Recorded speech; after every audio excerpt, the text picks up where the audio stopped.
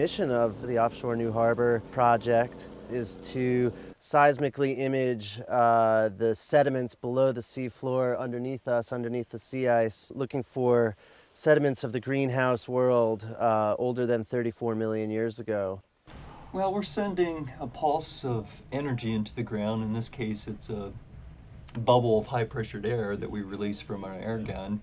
That energy is released from the water column, which we lower the air gun into through a hole in the sea ice.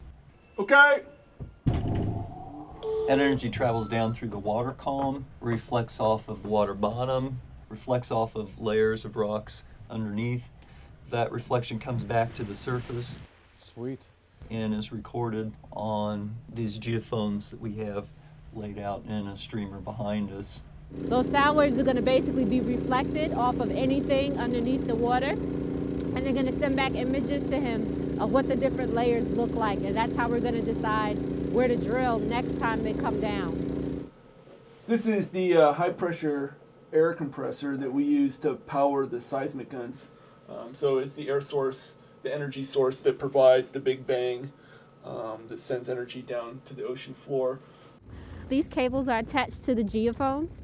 There are about 60 of them running back about a kilometer and a half that are picking up the vibrations um, from each explosion. All clearing back. My main job is the quality control of the data. Make sure that the air gun is working properly and that we're recording acceptable data. Often he'll have timing delay problems or maybe chambers not firing because the gun is freezing up. This computer monitors the air gun. It's talking to the shot control box, which is this orange box right here. Uh, this is the firing box over here. It's called the hot shot. And if you can hear that sound in the background, that's the firing of the air gun.